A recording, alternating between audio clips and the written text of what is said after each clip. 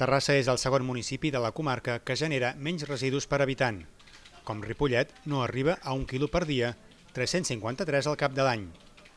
La mitjana al Vallès Occidental és de 403 quilos per habitant i any, força per sota de la dada a Catalunya, que és de 495. Rellinars gasta gairebé el triple que Terrassa, 985 quilos per habitant i any, 2,7 diaris.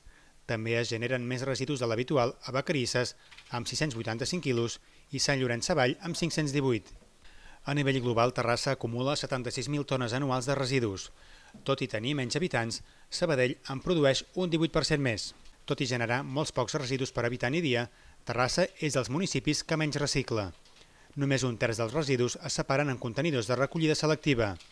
Està en la línia de Badia, Barberà, Rubí, Santa Perpètua, Sabatell i Gallifa, els municipis a la cua, tots entre un 30 i un 33%.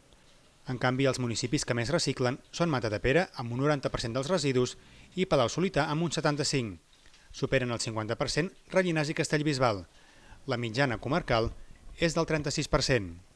Els residus voluminosos i fusta, la runa i les restes de poda i jardineria representen en total el 50% del total de la recollida selectiva. De les tres fraccions amb recollida distribuïda, la matèria orgànica és la primera amb un 13%, el paper i cartró amb un 10% i el vidre amb un 8%. Dos terços del rebuig rep un tractament mecànic biològic i la resta és incinerat.